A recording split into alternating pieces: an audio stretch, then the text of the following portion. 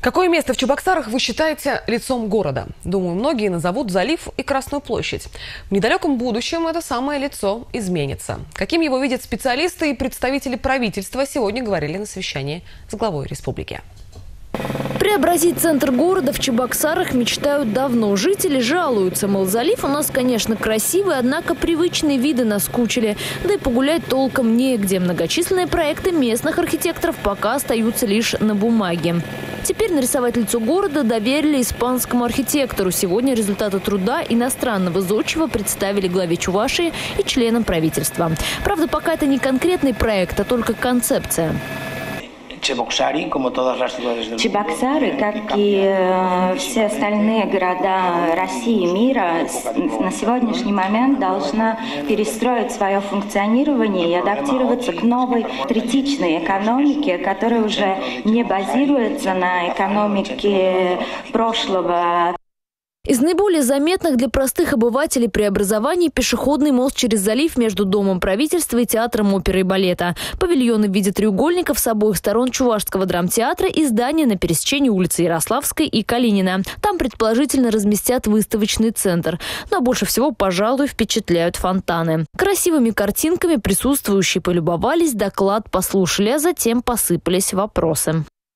Люди очень э, Буду стараться именно поближе подъезжать на машинах. А парковок мы в прошлый раз как-то встречались, обсуждали, одним словом, как раз, ну, как-то не предусмотрено. У нас 6 месяцев зима, и поток туристов, безусловно, зимой резко падает.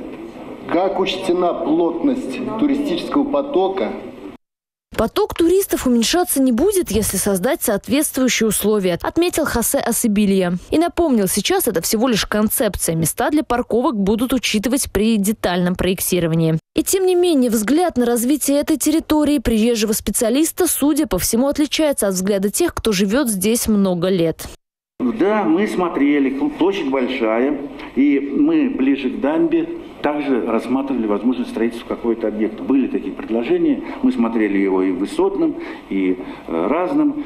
Я думаю, что функционально он может быть также и культурно-выставочным, и гостинично-административные функции какие-то должны быть. Но вот, слава богу, нет того варианта, который закрывал там улицу э, Ярославскую и закрывал, э, выбивал из э, архитектурного ансамбля памятник э, культуры Воскресенскую церковь.